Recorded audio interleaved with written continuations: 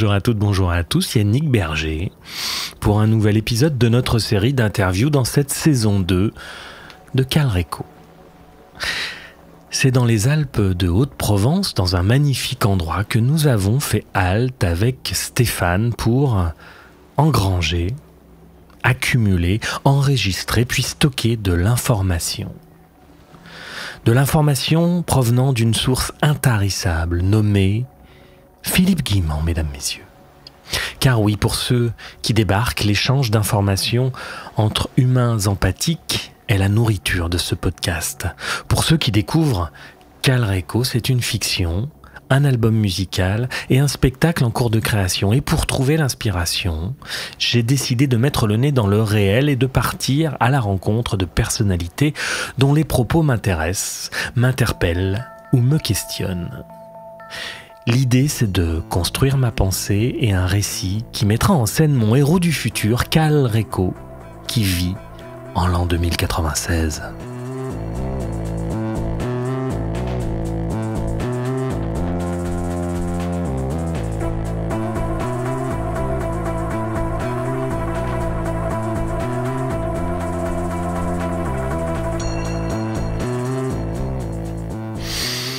Va être au cœur aujourd'hui avec notre invité de la question essentielle de ce podcast.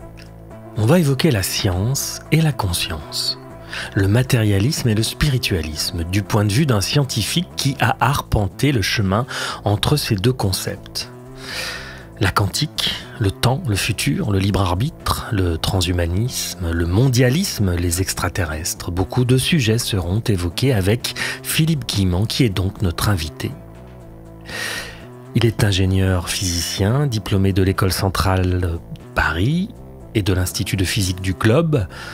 Avant de partir en retraite très récemment, il exerçait son activité au CNRS, ingénieur de recherche hors classe.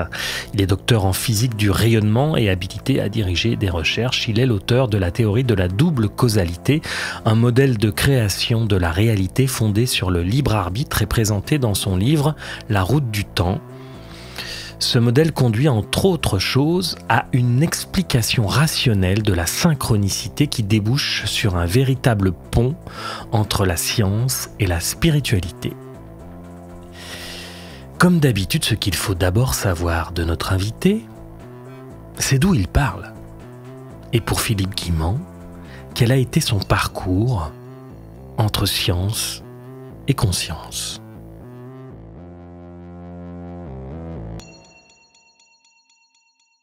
Euh, ça remonte à loin, hein, ça remonte à quand j'avais 13-14 ans euh, et que je m'intéressais euh, à la philosophie pour la première fois parce que j'avais trouvé des bouquins dans une ruine. Et à cette époque, je m'ennuyais un peu en classe. Je commençais même à décrocher et, hum, et donc j'ai découvert ces livres. Il y avait aussi des livres de maths anciennes, alors qu'on était en train de passer des maths anciennes aux maths modernes. Ça m'avait choqué. Moi, je me disais que non, moi, c'était les les maths anciennes qui me convenaient et j'étais pas content que qu'à l'école, on, ait une autre euh, façon de faire. J'ai commencé à sentir que ça allait pas trop, qu'il y avait déjà un aspect de robotisation hein, des élèves à cette époque-là. Et donc, mais en tout cas, ce qui m'a intéressé, c'est plutôt euh, les sciences, la philo, la physique. Donc, euh, bon, je, je, me suis un peu initié au mystère de la, mécanique quantique euh, et aux questions philosophiques du déterminisme, de la causalité dans, dans ces eaux-là, hein, vers 14-15 ans. Et, et donc, vers, vers 16-17 ans, je faisais même des expériences euh, avec les cartes Zener, des expériences de parapsychologie, euh, qui ont marché et puis qui ensuite ont plus marché. Et donc j'ai été déçu, puis après j'ai laissé ça tomber, puis après il y a eu... Euh, donc j'ai fait mes études scientifiques, j'ai fait l'école centrale. Quand j'étais à Centrale, je me suis intéressé à la mécanique quantique. Il y avait à cette époque-là, il venait d'avoir lieu le colloque de Cordoue, le fameux colloque de Cordoue, où vous aviez des physiciens avec une interprétation spiritualiste euh, de la mécanique quantique, le lien entre le quantique et la conscience. Hein. Colloque de Cordoue, il a eu lieu en 79, je crois. Moi, après, j'étais, les années que j'ai fait à Centrale, il y avait donc. euh, avec mes, amis et, camarades de l'époque, on discutait pas mal de, philo, euh, de l'interprétation de la quantique. J'ai fait une spécialité de troisième année à Centrale sur la quantique. Bon, et puis après, euh, je suis rentré dans la vie active petit à petit. J'ai fait un DEA de géophysique parce que je voulais faire de l'instrumentation. Je suis devenu un spécialiste de, de, l'informatique pour élaborer des, des, capteurs en tout genre. Euh, et donc, je, suis- devenu un spécialiste du traitement du signal, puis ensuite du traitement d'image. J'ai fait des prouesses dans ces, dans ces domaines-là. J'ai des inventions qui ont été brevetées, qui ont même créé, euh, contribué à créer des sociétés d'innovation, d'innovantes dans le secteur de euh, l'intelligence artificielle, en gros. Hein. Je ne rentre pas trop dans les détails, mais enfin, c'était surtout la vision artificielle. Et c'est ce, ce, domaine-là qui m'a le plus réussi. J'ai, reçu des distinctions importantes du CNRS, de l'industrie, pour euh, mes, mes composants de vision artificielle à base de réseaux de neurones euh, qui utilisaient euh, mes brevets, d'ailleurs. Et donc, je, je, je, me suis éloigné quand même à cette époque-là de, de, la quantique, mais je m'intéressais toujours, euh, parce que j'ai eu une carrière très créative, et je me suis aperçu que le hasard jouait un rôle important dans ma vie. Le hasard, les coïncidences. J'ai vécu. Euh, je prenais beaucoup de risques, notamment puisque j'ai été amené à créer deux fois des entreprises euh, à développer des, innovations quand même qui n'étaient pas à piquer des verres, hein, détecteurs de feux de forêt, analyse des mouvements des yeux, euh, faire des, systèmes de vision artificielle, etc. Tout ça, c'était relativement risqué intellectuellement, et même pas que. Et, euh, j'avais l'impression que j'étais un peu aidé dans ce parcours, par le hasard, on va dire, par le hasard des rencontres, mais aussi, mais aussi je, par le hasard de, par exemple, euh, vous avez un bug euh, logiciel, ça fait des mois que vous ramez dessus, vous êtes prêt à abandonner, et puis paf, au moment où vous abandonnez, il y a un faux mouvement, paf, la souris se met exactement sur euh, l'endroit où vous avez besoin de corriger quelque chose pour que tout se mette à marcher. Des choses comme ça. Hein. J'ai eu pas mal de... Et donc, et comme j'avais lu dans mon enfance des livres qui m'ont initié petit à petit à la synchronicité, j'avais lu beaucoup euh, Arthur Kessler qui avait écrit un livre sur le hasard, sur les coïncidences, et que j'avais étudié la quantique et que j'avais conscient, quand j'étais conscient du rapport entre la, je, je, je, faisais des recherches en fait, hein, parallèlement à ma carrière, des recherches purement intellectuelles. Je lisais beaucoup de livres pour voir quel pouvait être ce rapport entre la quantique et, la conscience. Hein. Et j'ai fini par trouver.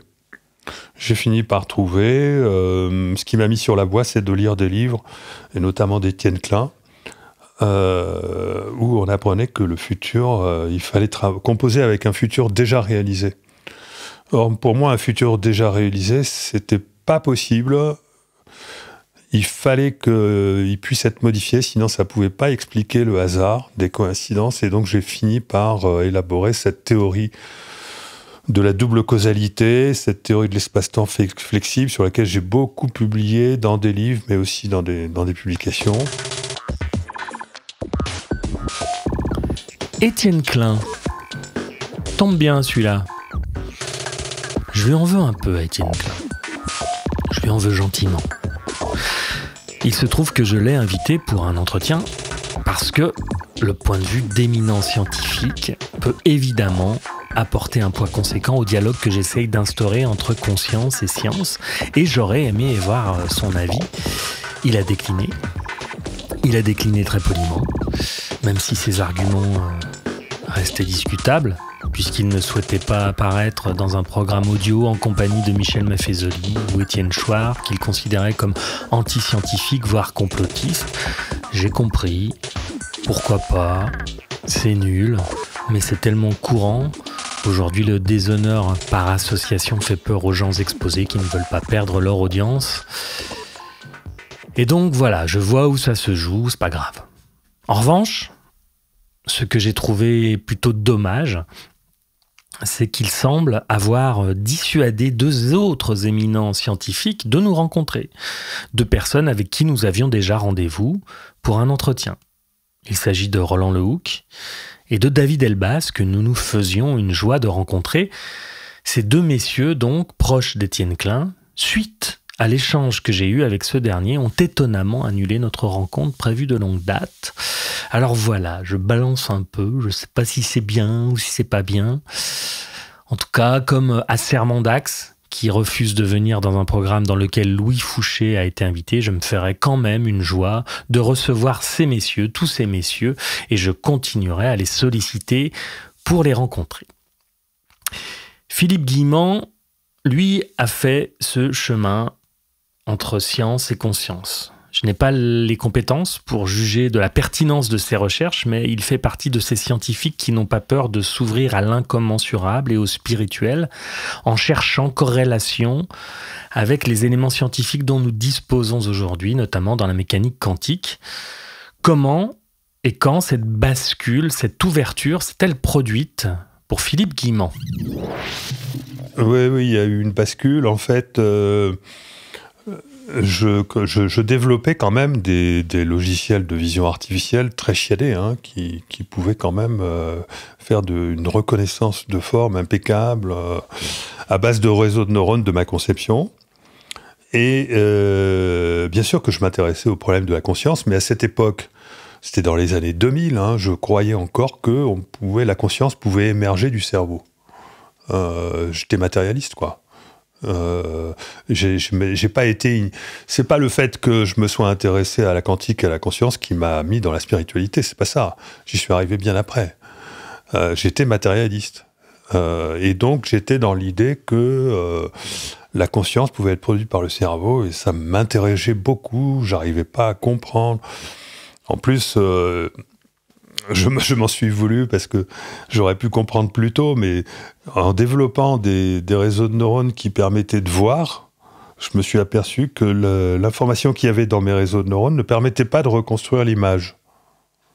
Donc je me suis dit, ouais, ton architecture de réseau de neurones, elle peut pas être bonne parce que sinon, euh, tu comprendrais pourquoi, comment un réseau de neurones arrive à fabriquer au moins une image, même si tu comprends pas comment il en est conscient, qu'au moins le, réseau de neurones permet au moins de fabriquer l'image, quoi, l'information. Parce que s'il n'y a pas l'information, il ne peut pas y avoir la conscience. Donc je me suis dit que là, euh, ça m'a déçu. Je me suis dit, mais j'arriverai jamais à comprendre la conscience.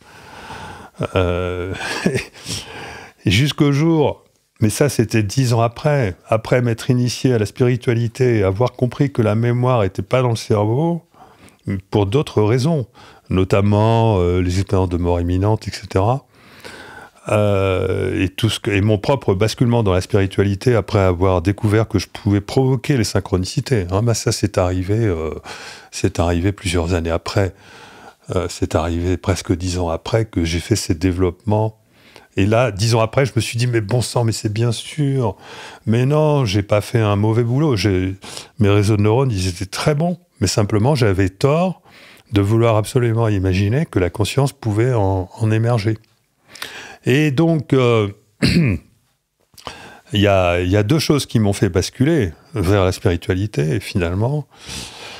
Euh, c'est dans, mon parcours intellectuel, parce qu'il y a aussi un vécu personnel, c'est euh, cette compréhension du fait que le cerveau pouvait, pouvait pas fabriquer la, la, conscience qui venait de mes travaux, pour lesquels j'étais reconnu, et euh, la compréhension du phénomène de synchronicité qui venait de ma, compréhension, de mon interprétation de, la physique.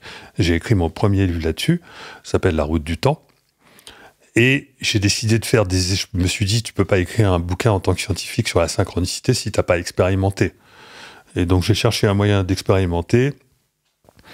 Je me suis mis à. Bon, j'ai imaginé un protocole hein, grâce à certains, la lecture de certains livres, dont Les dialogues avec l'ange, qui m'a beaucoup inspiré. Et, euh, et, ça a marché. Et donc là, décidément, euh, j'avais plein de raisons rationnelles de penser que donc la, mémoire et la conscience euh, n'étaient pas n'étaient pas dans le cerveau, en tout cas n'étaient pas fabriquées dans le cerveau. Bien sûr, la conscience, elle est elle est dans le cerveau comme, comme on pourrait être, euh, comme un pilote peut être dans un habitacle. Hein. Donc ça, j'ai commencé à comprendre ça, et à partir du moment où j'ai commencé à comprendre ça, et que donc euh, la mémoire non plus, hein, euh, parce que j'étais bien placé pour savoir qu'il n'y avait pas la, mémoire n'était pas dans le cerveau. Il y a des que des traces de la, de la, mémoire dans le cerveau, mais le cerveau ne peut pas fabriquer d'images nettes à partir de l'information qu'il y a dans le cerveau, pas possible de fabriquer des images nettes, encore moins des images dynamiques. En plus, j'en ai été un spécialiste hein, de la de, l'analyse et du traitement et de la synthèse aussi d'images dynamiques. J'étais bon là-dedans. Hein, et donc j'ai compris ça. Et euh, voilà, et tout ça, ça m'a emmené très loin. D'où euh, tous ces livres. Et puis, euh, j'ai beaucoup réfléchi. J'étais forcé à, à améliorer ma pensée, parce que le succès m'a porté, parce qu'on me posait un tas de questions, et donc et encore aujourd'hui, j'ai beaucoup avancé. Après plusieurs livres, là je suis sur mon cinquième, euh, j'ai formé, formé euh, je me suis formé dans ma tête une vision du monde qui est fabuleuse, quoi. Enfin, qui est parce que ça devient de plus en plus cohérent. Donc j'arrive à comprendre des choses comme l'au-delà. J'arrive à comprendre euh, un peu la structure de l'au-delà. J'arrive à comprendre euh, comment est-ce qu'on navigue dans l'espace-temps, euh, avec ou sans technologie, enfin des choses comme ça. C'est juste génial, quoi. Le post-matérialisme est une vision du monde que je défends dans ce podcast. Et Philippe Guimand, avec des gens comme Olivier Chambon, Stéphane Schillinger, Bernardo Kastrup, apportent leur contribution à l'émergence d'un nouveau paradigme scientifique. Récemment, un manifeste pour une science post-matérialiste a été signé par près de 500 personnalités venant des domaines de la physique fondamentale, des mathématiques, de la biologie, de la médecine, de la psychologie, adhérant à l'idée que la conscience existe dans un plan différent de celui de l'univers physique. Ils pensent qu'elle n'est pas une production du cerveau, même si, bien sûr, elle peut produire des effets localisables dans le cerveau lorsqu'elle agit. Le cerveau qui produit la conscience, ça reste le postulat sur lequel la science matérialiste s'appuie, et cette conception qui est vieille de plusieurs siècles est au fondement des structures scientifiques, politiques, sociales de nos sociétés. C'est un problème, je trouve. Le matérialisme a un impact immense sur notre façon d'envisager le monde, et c'est ce qu'il faut revoir, car c'est un postulat qui n'a jamais été prouvé. La théorie mainstream qui s'est imposée en loose day est un boulet qui nous empêche de progresser. Bah, la théorie mainstream, c'est une théorie par défaut, c'est parce qu'on n'a jamais réfléchi là-dessus. Euh, c'est la conscience et le produit du cerveau, ça va de soi. Ça n'a jamais été prouvé, mais ça, ça allait de soi, on peut comprendre. Hein. Euh, même moi, enfin bon, quand on vient au monde avec un cerveau, on imagine que la conscience vient du cerveau. Il n'y a jamais eu de recherche pour savoir si c'était vrai ou faux. Hein. Euh, les neuroscientifiques, ils ont toujours considéré d'emblée que la, la conscience produit du cerveau. C'est tellement ancré depuis plusieurs siècles. Hein. on, a, on a évacué les religions, on a évacué l'âme, l'esprit, tout ça. À la limite, on peut même conserver l'idée de l'âme ou de l'esprit sans remettre en question l'idée de que la conscience euh, vient du cerveau. Et en fait, ce qui s'est passé, c'est qu'il y a eu des, plein de raisons de penser que non, que, euh, que c'était une croyance. Hein, ça n'a jamais été scientifique. L'idée que la conscience puisse être produite par le cerveau n'a jamais été scientifique. Hein. Euh, c'est juste un, postulat de base. Et qui a été remis en question par plein de choses. Qui a été remis en question par tous les pouvoirs extraordinaires liés à la, avec la conscience. Euh, en lien avec la conscience non locale. Hein. Je peux en citer un paquet. Là. Il y a une publication qui est sortie récemment qui a fait le point là-dessus. Il y a six expériences extraordinaires qui ont été recensés qui prouvent que la conscience est non locale et ne peut pas être produite par le cerveau. Il y a euh, la télépathie, euh, qui a été contesté, mais qui, quand on regarde les publications, euh, franchement, c'est incontestable. Il y a la, vision à distance, qui a été étudiée d'ailleurs, financée par la CIA. Il y a tout ce qui est prémonition et vision du futur, dont font partie d'ailleurs les synchronicités. Moi, j'ai fait des expériences là-dessus, hein, des expériences statistiques, j'ai vérifié que c'était vrai. Il y a les expériences de mort imminente et tout ce qui est sorti de corps. Il y a le fait que il y a les facultés du cerveau extraordinaires euh, qui, c'est-à-dire que par exemple, lorsque le cerveau est privé de ses facultés, finalement, il développe un meilleur état de conscience, comme la lucidité terminale, ou même il y a des gens qui se baladent avec juste euh, 5% du cerveau et qui fonctionnent très très bien dans leur vie. Et il y a, euh, je sais plus, il y a, il y a enfin ça c'était dans la publication, il y a plein d'autres choses. Hein. Et toutes ces choses ont été, euh, tout ça a été investigué scientifiquement. Alors par deux méthodes différentes, soit par des témoignages, ça c'est pour euh, tout ce qui est expérience de mort imminente, soit par des vraies expériences scientifiques faisant appel aux statistiques, ça c'est pour la, vision à distance, pour euh, la vision du futur et pour euh, la, télépathie. Donc euh, avec tout ça, tout ça, ça peut pas fonctionner si, si la conscience est produite par le cerveau. D'abord, la conscience ne pourrait pas être délocalisée. Hein. Elle pourrait pas avoir l'impression de pourrait pas sortir du corps, elle pourrait pas. Enfin bon, c'est facile à comprendre. Facile, hein, ok. Alors, allons-y, explorons le sujet plus en profondeur. Dans quelle mesure les notions étudiées dans la physique quantique ou dans certaines théories scientifiques peuvent entrer en corrélation avec l'idée que la conscience est non locale et non produite par le cerveau donc les, physiciens ont découvert qu'on vivait pas dans un univers, mais un multivers. Par contre, ils l'interprètent euh, à enfin, ils l'interprètent n'importe comment, à mon sens. Hein. Le multivers, il y a plusieurs sortes de multivers. Il y a le multivers, euh, le premier qui a été découvert, c'est le multivers de la théorie des cordes. D'accord? Euh, Il y aurait 10 puissance 150 versions possibles de la réalité. Alors c'est interprété n'importe comment en considérant que ce sont des bulles d'univers qui se trouveraient à des dizaines de milliards d'années pour la première. C'est n'importe quoi, ça c'est la vision matérialiste pure. Il y a le multivers des bébés univers aussi. Bon, c'est un peu le même genre. C'est c'est vraiment celui qui fabrique les bulles, c'est-à-dire qu'il n'y aurait pas eu un Big Bang, mais des myriades de Big Bang. Il y a le multivers quantique. Euh, c'est lui le premier qui a été imaginé par Hugh Everett, en fait dans les années 50, et, mais il est revenu au goût du jour que euh, dans les années 2010. Euh, le multivers quantique, c'est quand une, euh, une particule, un photon, il arrive sur un mémoire semi-transparent, soit il est transmis, soit il est réfléchi, mais comme c'est quantique, en fait, c'est superposé, c'est les deux à la fois. Et pour interpréter ça, on dit qu'il y a deux univers qui se créent. Et donc là, il y aurait une quantité absolument faramineuse d'univers qui devraient se créer au-delà d'une autre, mais c'est n'importe quoi. Donc, je vous expliquerai mon interprétation. Et puis moi, j'ai découvert le multivers du billard. J'ai fait, des publications scientifiques dans des revues au top niveau là-dessus. Hein. C'est mes publications sur les billards. C'est-à-dire que dans, dans, un billard, le billard étant chaotique, il y a des bifurcations. C'est-à-dire, vous ne pouvez pas éviter, même si vous utilisez une précision insupportable, euh, pouvez pas éviter les moments où une boule, elle va hum, frôler une autre.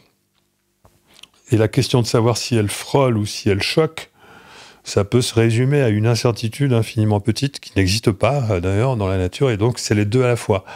C'est-à-dire, le billard, il peut être quantique. Hein, enfin, en gros. Et, euh, et, en fait, il est, un billard n'est pas quantique parce qu'il subit le phénomène de la décohérence, c'est-à-dire qu'à l'échelle macroscopique, on ne peut pas conserver d'état quantique. D'accord? La, réalité fait obligatoirement le choix d'un seul univers. Mais il n'empêche que euh, ce choix, il a quand même été fait.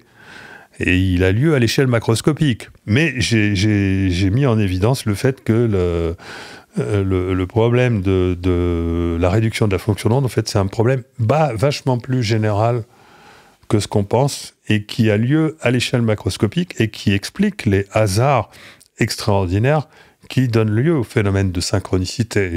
C'est tout mon thème de, recherche, encore d'aujourd'hui. Et c'est aussi parce que dans les expériences de mort imminente, les témoins eux-mêmes disent qu'ils ont l'impression de sortir du temps. Or, l'ontologie quantique, elle est hors du temps. Une particule quantique, c'est une particule qui n'est pas rentrée dans le flux du temps. Or, c'est ce que l'impression qu'ont les gens qui sortent de leur corps. Ils ont l'impression d'être sortis du flux du temps. Ils disent j'ai l'impression d'être hors du temps. C'est pas qu'ils sont hors du temps parce qu'il y a toujours un temps. C'est pas le même, mais ils sont ils sont sortis du flux du temps ordinaire.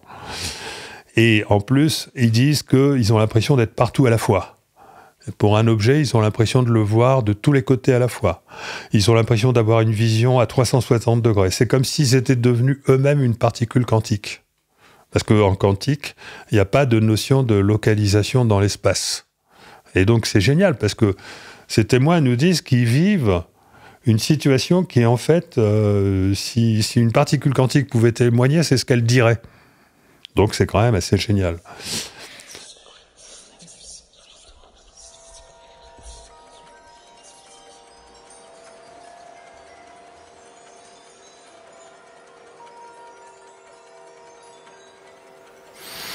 Être hors du temps, c'est aussi l'impression qu'on a quand on rêve.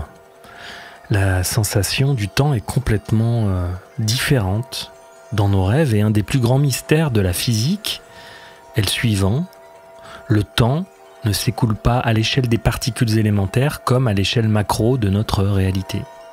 Le temps quantique peut aller du passé vers le futur, mais aussi du futur vers le passé. La flèche du temps n'existe plus et on n'y comprend pas grand-chose. Enfin, en tout cas, les scientifiques euh, qui se penchent sur la question n'y comprennent pas grand-chose. Ils n'ont pas de réponse. La question, c'est à quel moment, à quelle échelle le temps apparaît-il? Non, il n'y a pas de. C'est pas une question d'échelle. Euh, c'est le temps. pour moi, il est créé par la décohérence. Hein. La décohérence alors voilà, donc je vous donne mon interprétation du multivers.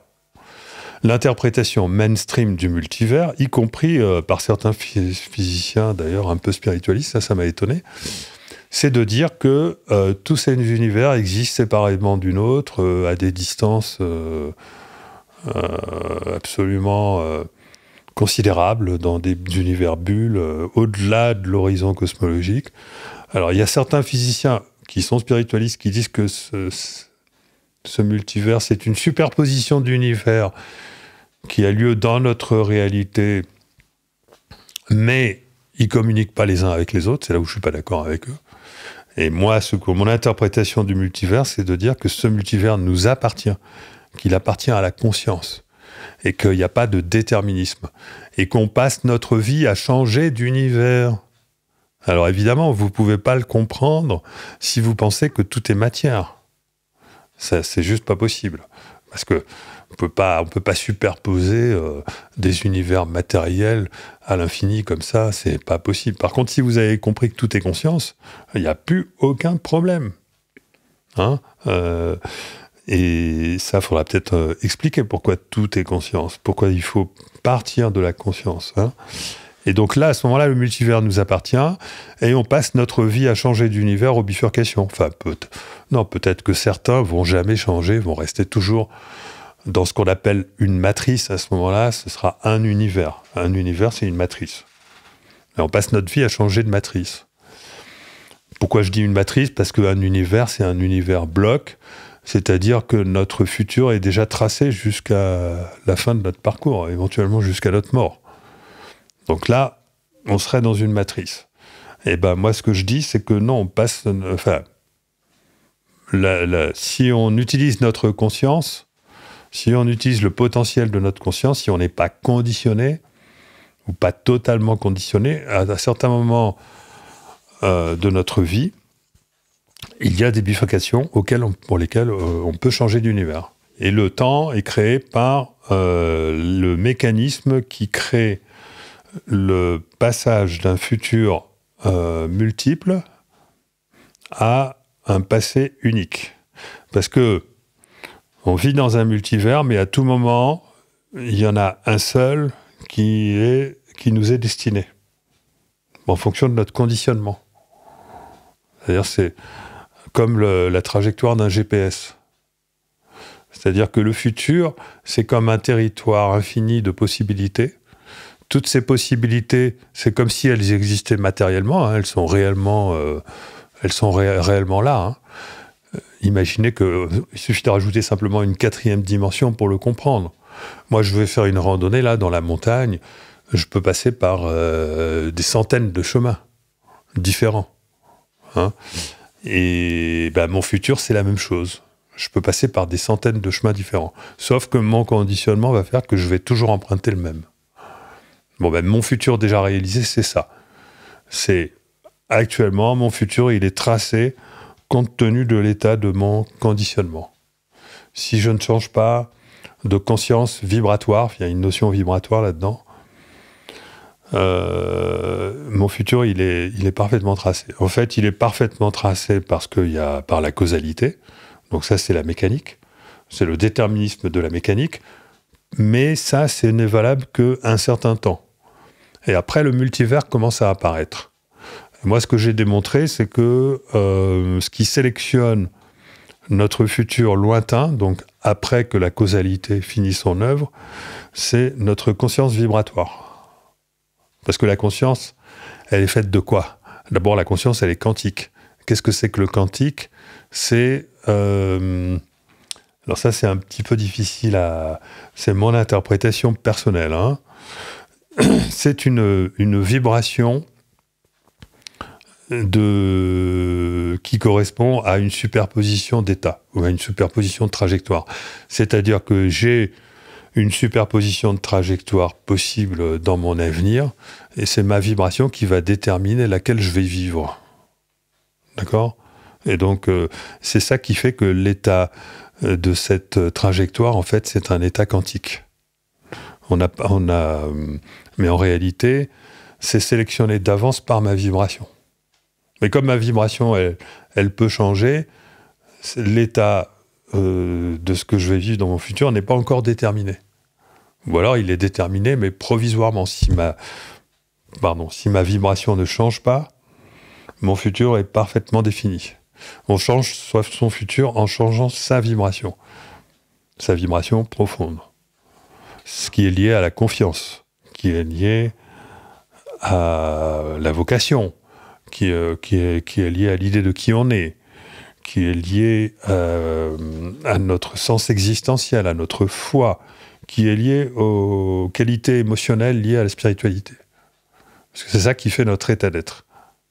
Parce que sans la foi, sans la confiance, sans le détachement, le lâcher-prise et tout ça, on ne peut pas être vraiment libre. Parce qu'on va se mettre à fonctionner euh, selon notre ego. Et notre ego, il va jamais changer sa vibration. Parce que lui, il va toujours fonctionner euh, pour préserver l'intérêt de la personne. Et sa vibration va être constante. Et pour le futur est parfaitement déterminé dans ce cas-là.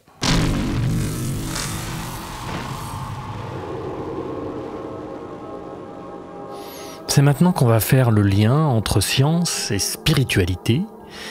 La spiritualité des traditions anciennes revisitée à la sauce post-matérialiste. C'est à partir de maintenant qu'on va commencer à perdre les purs scientifiques matérialistes qui se seraient aventurés jusqu'ici. Je pense que vous n'êtes pas nombreux, mais pour ceux qui auraient malgré tout décidé de rester, lâchez prise, souriez, respirez. On vous suit, monsieur Guimont. Oui, alors en fait, ce qui se passe, c'est que ce qui permet de changer notre futur, c'est le ressenti. Hein, c'est pas le, mental. Le mental, il est, il est toujours piégé par un, raisonnement. Il va toujours dans le sens de son intérêt, de- des habitudes, de ce qu'il convient de faire. Il va toujours surveiller son image. Euh, je suis pas quelqu'un qui fait ceci. Je suis pas quelqu'un qui fait cela. Euh, non, c'est pas bien de faire ça. Euh, Enfin voilà, le, mental, c'est un guide. hein l'ego, le mental et euh, l'émotionnel inférieur, je dirais, hein, lorsqu'on est pris par la peur et tout ça, ça c'est c'est quelque chose qui nous assure un, futur de personnes complètement soumises euh, à la réalité extérieure. hein. Donc ça, c'est un piège dans la matrice. Alors que si par contre on devient une personne libre, Hein, le libre arbitre, il existe. Pour ça, il faut, il faut se libérer de tout ça, de tous ces conditionnements, lâcher prise, détachement, authenticité de l'être, euh, foi, confiance, etc. À ce moment-là, on vit à partir de nos ressentis. Mais donc à ce moment-là, on peut être sensible aux informations du futur. On peut être sensible à notre soi. On peut être, on peut avoir, on peut décider de faire des choses impossibles. On peut décider, par exemple, moi c'est ce qui m'est arrivé dans ma carrière. hein. On peut décider de suivre la voie de son cœur, la voie de son cœur qui vous dit de faire des choses qui paraissent impossibles. Par exemple, euh, votre cœur vous dit euh, si, si, tu devrais être capable de développer un détecteur de, de feu de forêt, tu as terriblement envie de faire ça, vraiment. J'adorerais faire ça, Ouah, je sens que je peux, mais je sais pas le faire. bon, ben, une personne normale, elle va pas le faire. Et moi, je me suis laissé guider par ma foi. hein. Euh, et c'est ça qui déclenche les hasards qui font que vous avez la chance d'arriver à, à faire des prouesses extraordinaires. Quoi. Donc c'est soit euh, les hasards qui font que vous, trouvez automatiquement sur votre chemin toutes les informations qui vont vous aider à réaliser votre rêve. Soit ce sont les synchronicités, les rencontres, euh, voilà, enfin bon. Et ça, c'est déclenché par la foi. Et la, la foi dans, dans qui on est, quoi. Alors, qui on est, euh, non, c'est l'idée, voilà, je suis quelqu'un qui va faire ça. C'est mon. Je ressens que je suis quelqu'un qui doit faire ça. Je ressens une joie à ressentir que je suis quelqu'un, à avoir découvert que je suis fait pour faire ça. C'est le, le, le sens profond de la vocation qu'on.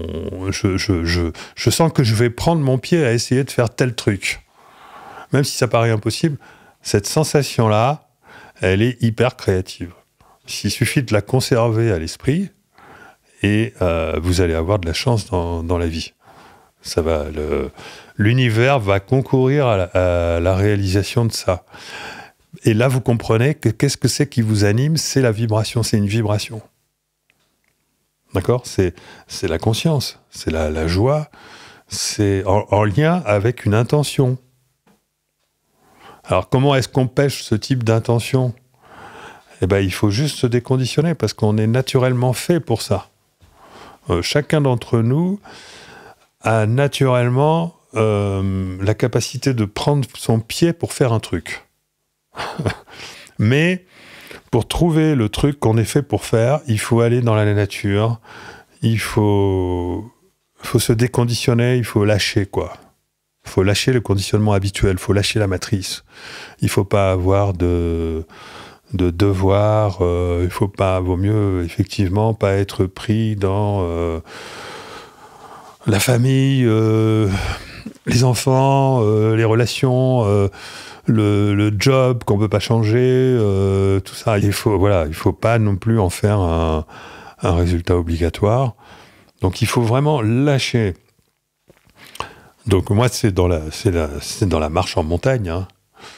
C'est la marche en montagne qui me fait découvrir, à un moment donné, paf, il y a une idée. Waouh, mais oui, je vais faire ça. Euh, ça peut être simplement au niveau d'une nouvelle idée que je trouve pour avancer un bouquin ou un développement informatique, mais ça peut aussi être euh, l'idée euh, qui vous prend de, de, bah, de faire un voyage ou l'idée qui vous prend de, de dire ah ben tiens je vais écrire un, nouveau livre euh, ou alors euh, tiens je vais faire euh, je vais dans, dans mon boulot maintenant je vais je, vais me lancer sur tel nouveau sur tel nouveau projet donc c'est tout ce qui est de l'ordre des projets de vie hein.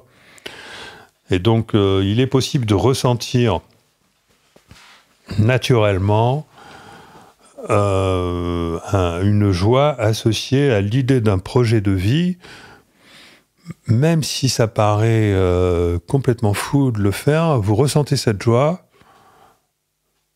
Ah, mais alors, euh, vraiment, c'est possible que je fasse ça? Et la joie que vous ressentez vous dit, mais oui D'accord? Eh bien, ça marche comme ça. D'accord? C'est ça l'incarnation de l'âme dans la matière, l'incarnation de l'esprit dans la matière, c'est l'énergie de l'esprit. L'énergie de l'esprit, c'est la joie. hein. Parce qu'en fait, la conscience purifiée la conscience en dehors de la matière, elle est, elle est de la nature de la joie déjà. Hein, c'est la matière qui fait que c'est dur, qui fait qu'on souffre, qui fait qu'on on n'est pas dans l'amour. Mais la nature de la conscience en dehors du temps, en dehors de l'espace-temps, elle est de la nature de l'amour et de la joie. Et donc, quand on ressent cette joie en lien avec un projet qui vient nous pousser, là, qui germe, c'est parce que l'amour, la joie a réussi à descendre dans la matière à travers vous. Et vous, il vous suffit de vibrer ça, de ressentir le ressenti, parce qu'un ressenti, c'est une vibration. C'est une vibration de l'espace, plus exactement une vibration du vide. C'est ça le ressenti. C'est ça la nature de la conscience. C'est des vibrations du vide. Eh bien, il vous suffit de, ressentir ça et ça va euh, énergétiser euh, le potentiel futur correspondant. Et donc, même si c'est très, très, très improbable d'y arriver, vous allez y arriver. À condition de maintenir ça. Comme ça que ça marche. Ça, ça s'appelle la magie de la vie. Donc, moi, j'ai écrit quatre bouquins là-dessus. J'écris le cinquième, là, en ce moment. Euh, pour aller toujours plus loin dans l'explication de la physique de ce processus.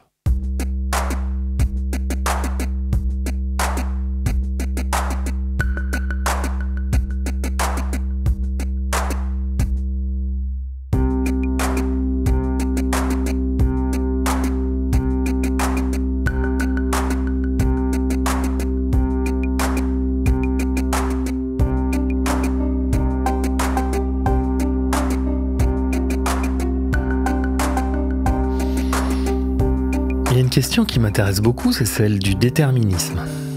À quel point le sommes-nous déterminés? Est-ce qu'on a un libre arbitre?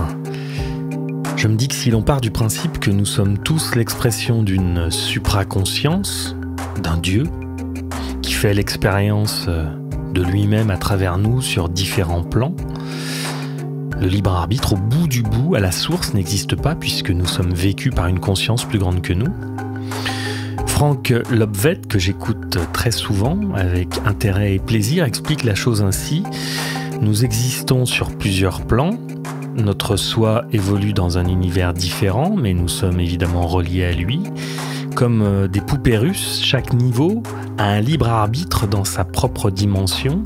En tant qu'humains incarnés, nous pouvons faire des choix et chacun des choix que nous faisons tombe irrémédiablement dans les pas de ce qu'a choisi notre moi supérieur, notre âme, quoi, depuis son libre arbitre dans sa dimension. J'espère que c'est clair. Alors, pour encore plus de clarté, quoique je ne sais pas si ça va vous éclairer, il résume la chose ainsi, avec une phrase qui fait un peu des nœuds à la tête. Quand tu fais un choix sur le plan de la matière, ça vient d'être écrit depuis toujours par la conscience. Ou, dit d'une autre façon, ça a toujours été écrit depuis tout de suite. Pour Philippe Guimand, on n'est pas très loin. Il n'y a pas de déterminisme et si l'on utilise notre conscience à bon escient, on peut changer d'univers, faire un choix conscient de changer notre vie. On pense aussi à Spinoza, pour qui reconnaître nos déterminismes nous permet de nous en affranchir. Voilà. Déterminisme, libre arbitre. À vous, monsieur Guimand.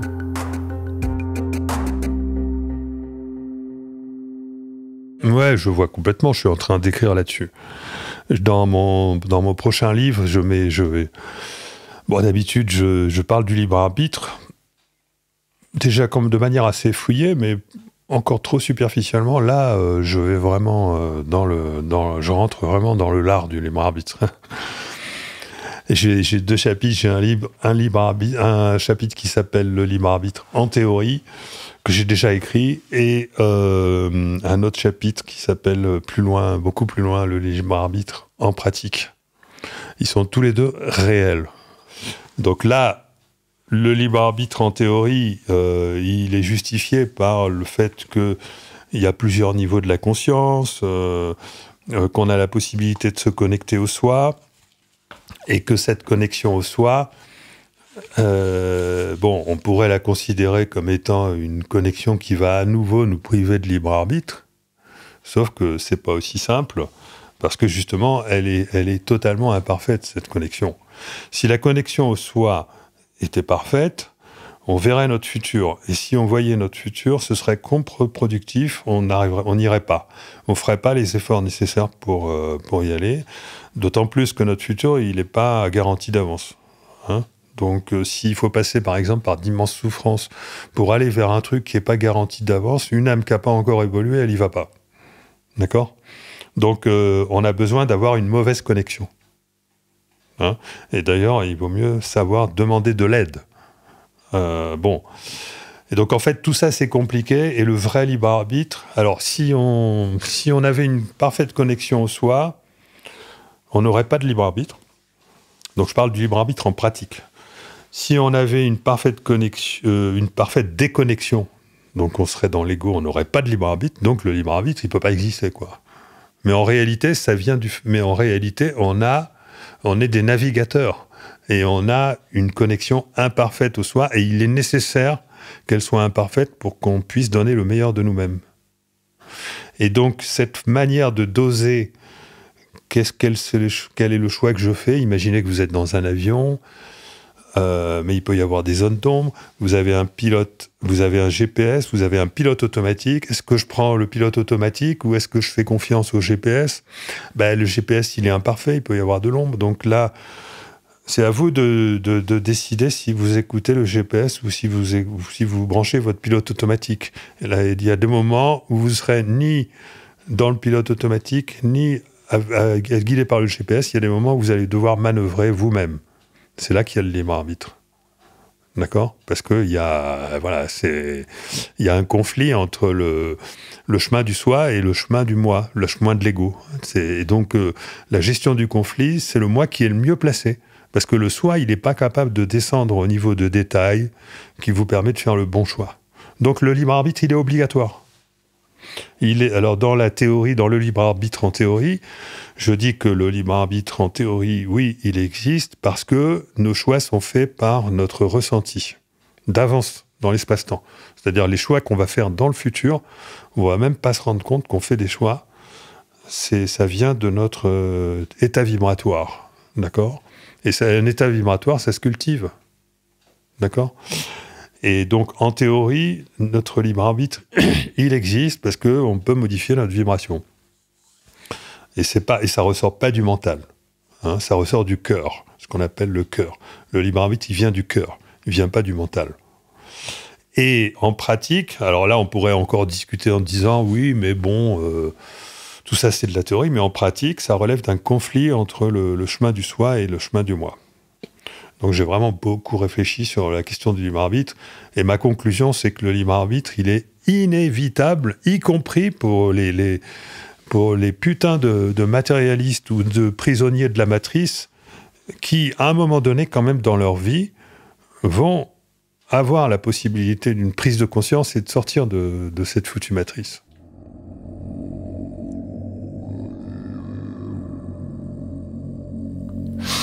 Ah bah ça, c'est une très bonne nouvelle. Si les putains de matérialistes se réveillent, je donne pas cher de la misère dans le monde. Allez les gars, debout, on va faire un petit plongeon dans le réel et on va devenir conscient. Bon, le problème, effectivement, c'est que pour l'instant, ils sont à disputer comme des enculés, et comme ils sont pas réveillés, qu'ils ont volé les codes de la matrice, ben on se dirige tout droit vers un capitalisme transhumaniste, dystopique, qui fait pas rêver. Enfin, ça, c'est ce que je vois. Mais peut-être que non. On va demander à Philippe, tiens. S'il n'y avait pas eu le Covid, si on était vraiment allé vers le transhumanisme, on se serait autodétruit même avant d'en arriver là. Hein. Euh, on aurait toujours cherché à mettre la conscience dans un circuit imprimé, mais on se serait auto-détruit dans cette euh, avant même, avant même d'en arriver là, euh, et on aurait été phagocyté par. enfin bon, ah, je préfère pas trop creuser cette question. Disons que euh, je préfère dire que le, transhumanisme n'y va plus parce qu'il y a eu un dévoilement de, du grand danger. Il y a eu un dévoilement de tout ce qui nous. Tout ce que, du grand danger, euh, de ce que ça voulait dire. D'abord, maintenant, les gens, c'est rentré presque dans le grand public, hein, le, le, danger transhumaniste. Hein. et euh, est également rentré dans le grand public, presque. Hein, parce qu'il y a la télévision, et franchement, elle fait quand même des dégâts. Euh, la peur du numérique. Alors, ah, moi, je, moi, je suis quelqu'un qui, qui, aurait bien aimé utiliser le numérique. Euh, mais euh, bon, je suis quand même bien content que finalement les gens soient rendus compte du danger du numérique, du danger du traçage numérique. Les gens se rendent pas compte.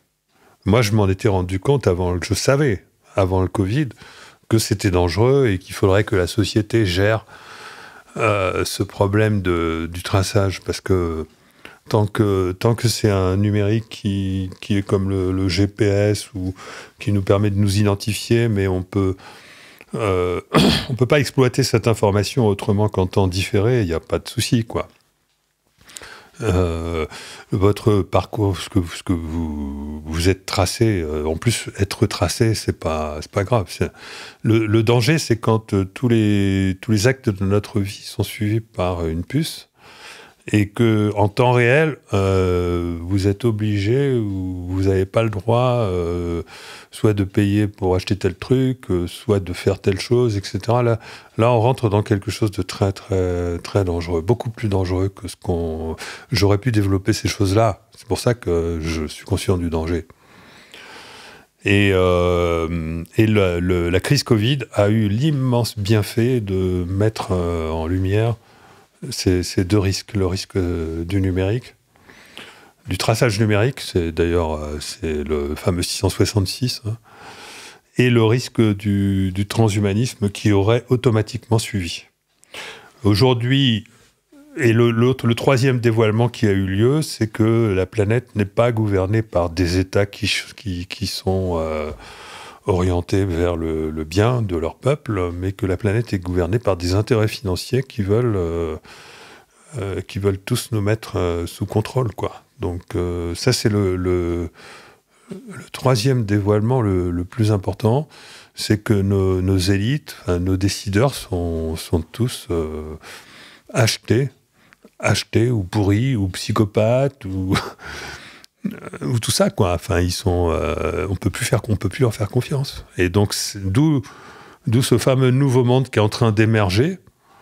Euh, il y en a beaucoup de personnes. Il y, a, il y a même eu une convergence entre les des gens qui n'étaient pas dans la spiritualité et d'autres qui l'étaient pour dire il faut aller vers un nouveau monde parce qu'on ne peut plus faire confiance au système actuel qui règne en Occident et ce, ce, capitalisme ultralibéral qui nous mène vers la mort, quoi.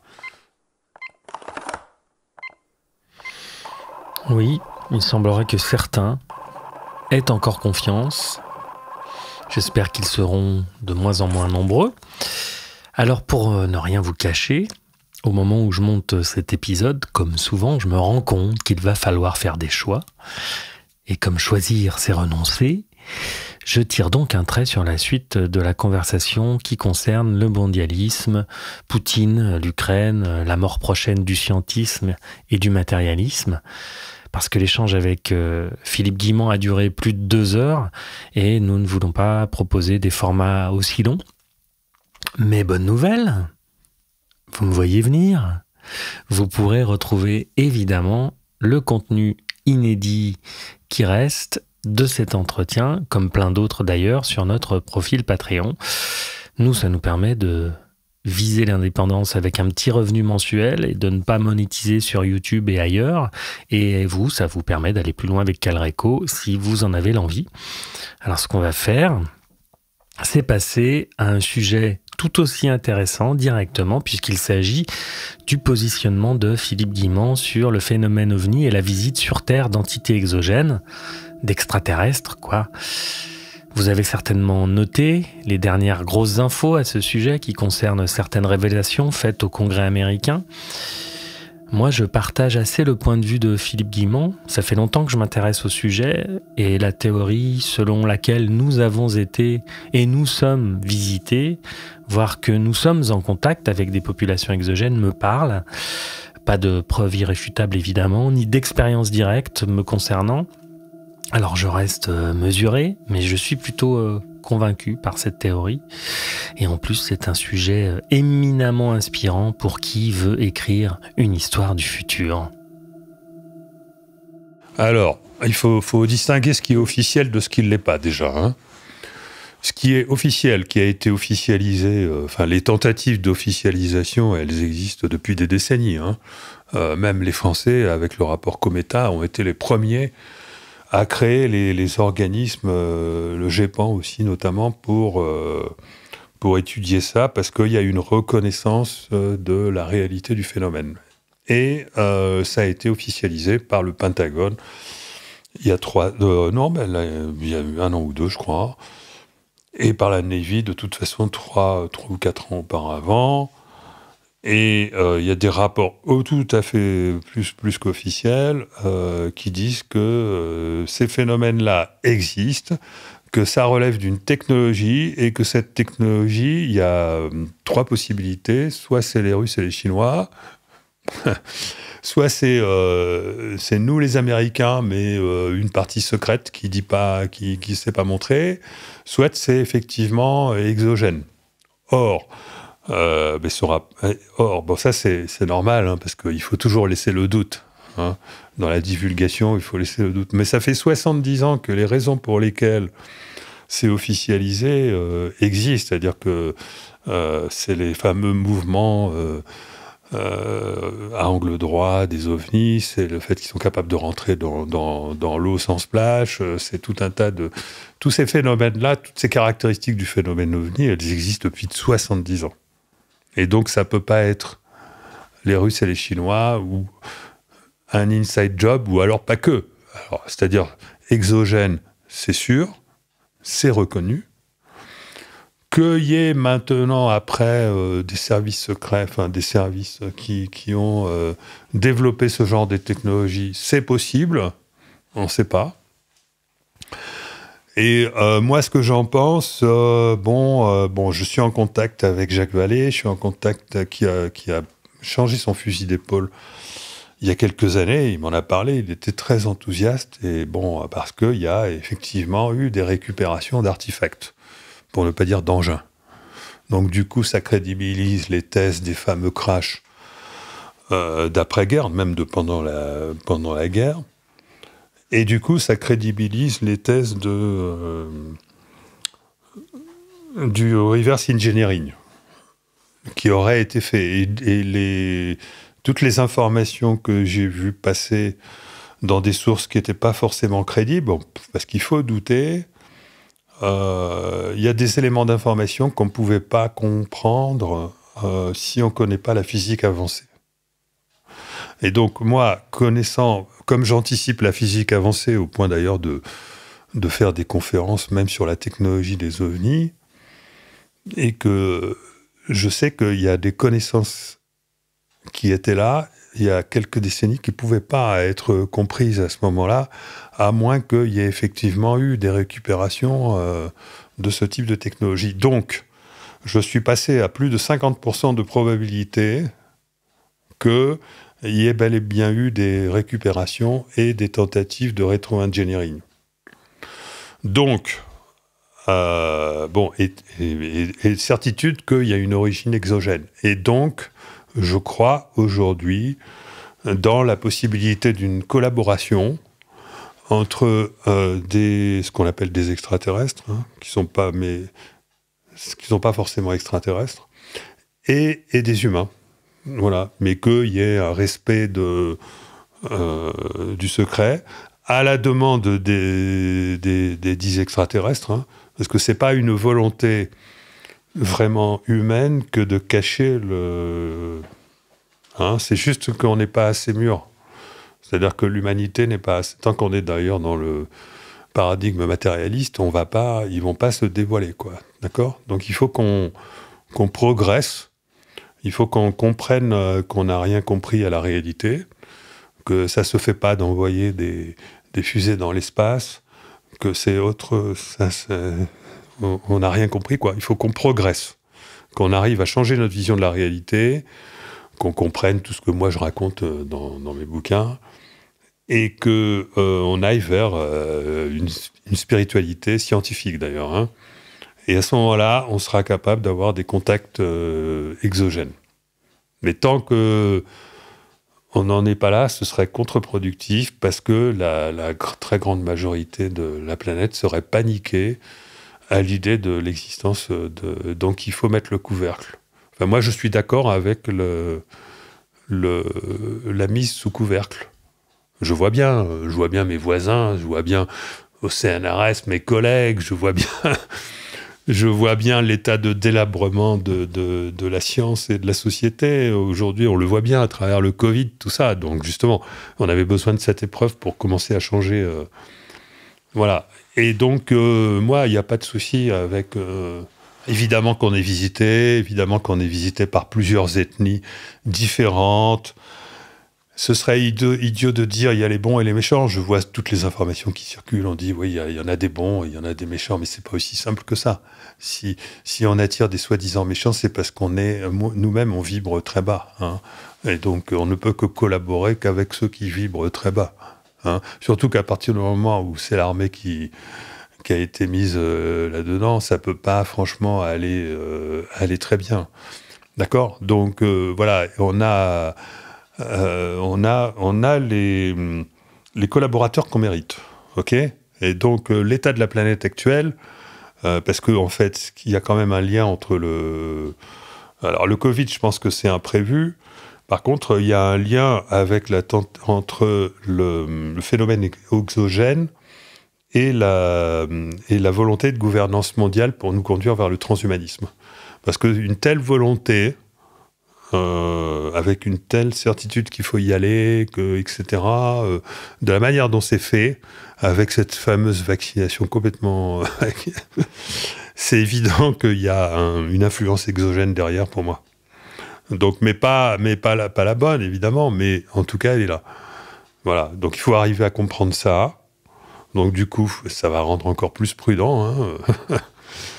Et euh, on n'est on pas destiné à aller au garage à, injection tous les, tous les 3 à 6 mois.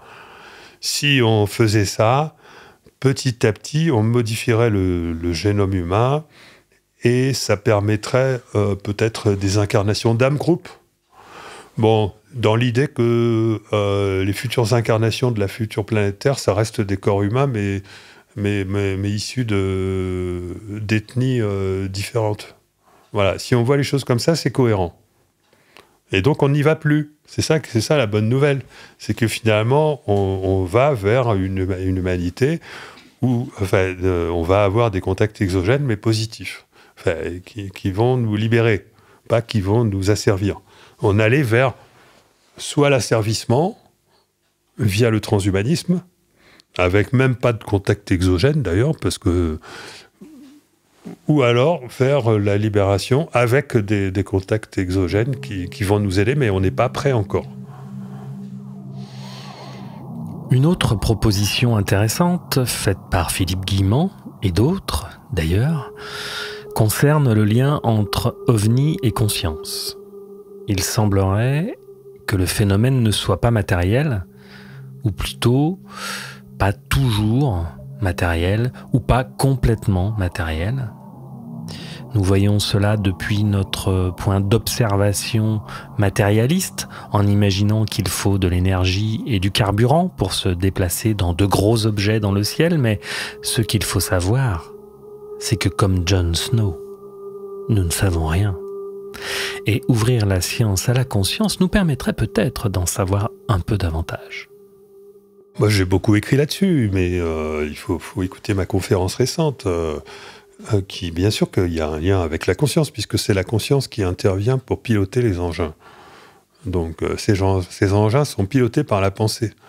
Pas par la pensée euh, qui vient du cerveau, hein, par la pensée intuitive, donc par la conscience.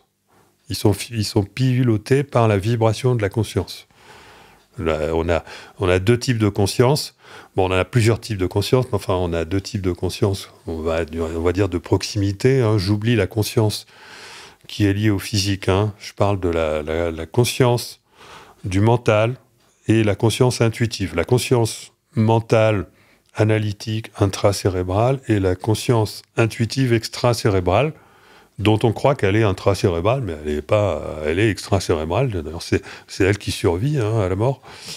Euh, donc, on a ces deux types de conscience, et c'est la conscience intuitive qui pilote les engins.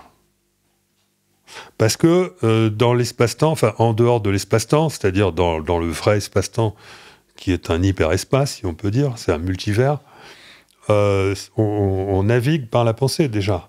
Donc c'est le même processus. Simplement, il faut avoir une technologie qui nous permet de nous retrouver dans la même situation que la situation naturelle hors du corps. Lorsqu'on est hors de son corps, on pilote par la pensée. On navigue déjà par la pensée.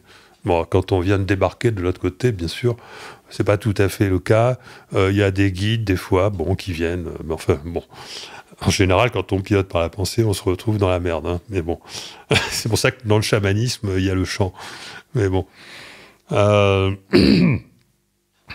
Et, mais bon, les ovnis, c'est la même. c'est la même exploite le fait que la, conscience est, est déjà, par nature, un système de navigation.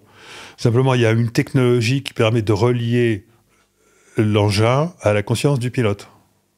D'accord? Donc, euh, l'engin, il est dans une bulle quantique, et une bulle quantique, elle est faite de vibrations de la conscience. Elle est faite de vibrations.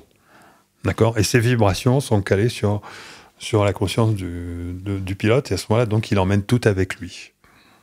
C'est comme ça que ça marche. «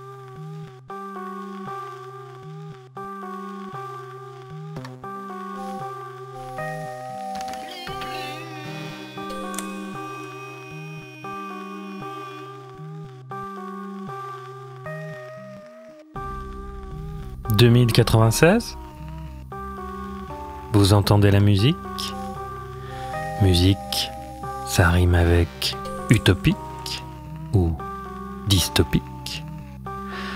J'ai voulu que cette petite musique soit questionnante et un poil inquiétante, qu'elle se situe entre ces deux visions un peu comme les histoires d'Alain Damasio.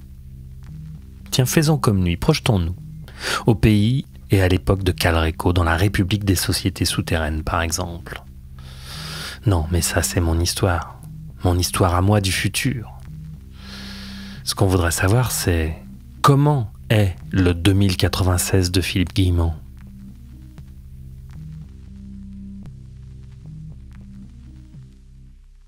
C'est compliqué parce que les, les humains vont pas tous euh, dans la même direction, ou en tout cas pas tous à la même vitesse. Donc je pense que ça peut prendre très longtemps pour qu'une grande partie de l'humanité fasse le travail nécessaire pour euh, tous nous faire basculer dans la, dans une direction qui pourrait du coup aller au-delà de 2096. Mais enfin, si on suppose que... Euh, bon. 2096, normalement, on devrait avoir basculé dans une réalité où euh, on, a, parfaitement intégré cette notion, le fait que la conscience n'est pas le produit du cerveau, que la conscience est un système de navigation, que ce système de navigation, il nous sert à trouver automatiquement, par exemple, l'aide dont on a besoin aussi. Et donc, euh, les humains auraient aussi résolu leurs problèmes avec leur ego ils auraient compris comment on fait pour être créatif, hein, euh, et on aurait basculé dans un monde où finalement le, ce qu'on réalise arrive beaucoup plus vite. C'est-à-dire que le, temps entre le moment où la pensée, entre le, le temps entre la conception d'un projet et sa réalisation serait euh, fortement raccourci.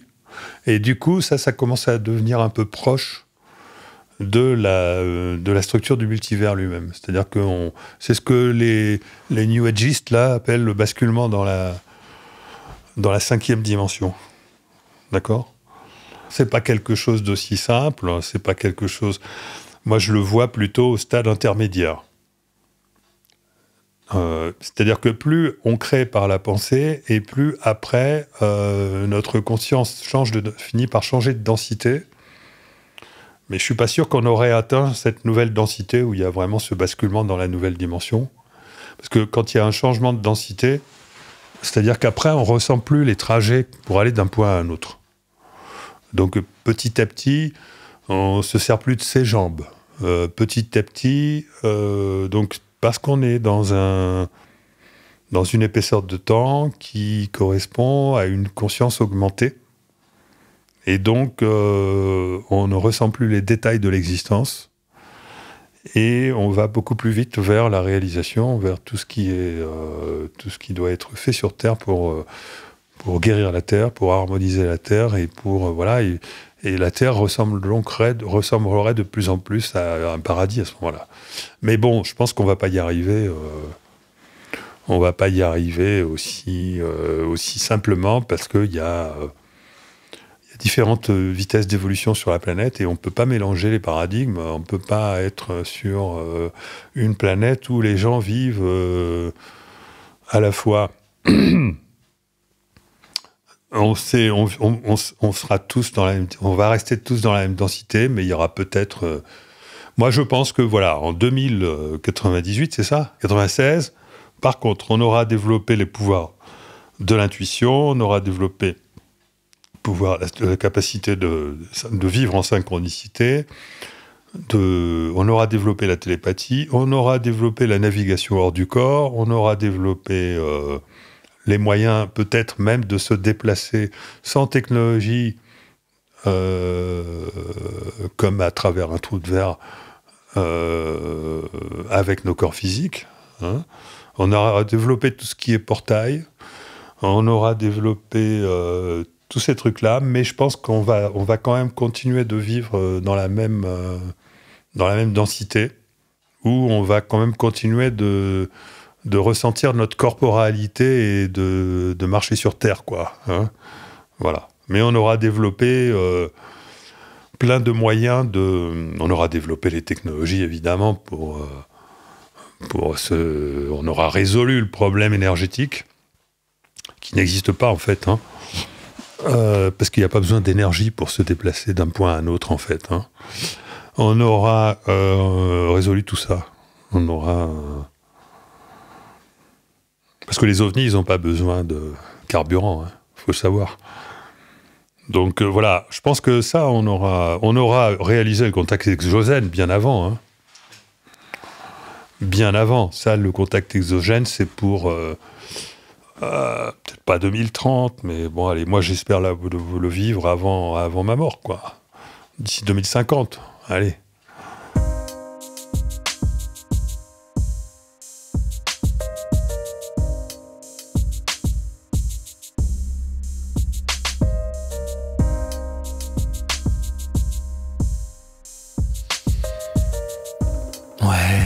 ça serait bien.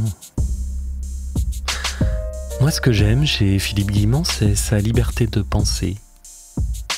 Un peu euh, comme Florent Pagny, voyez Cette liberté de parole.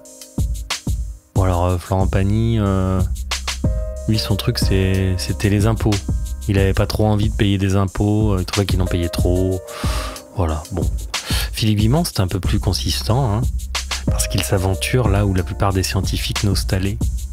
Un peu comme Jean-Pierre Petit. Alors la conséquence, c'est que certains médiocres esprits zététiques ou scientistes tournent les propos de ces deux personnes en ridicule.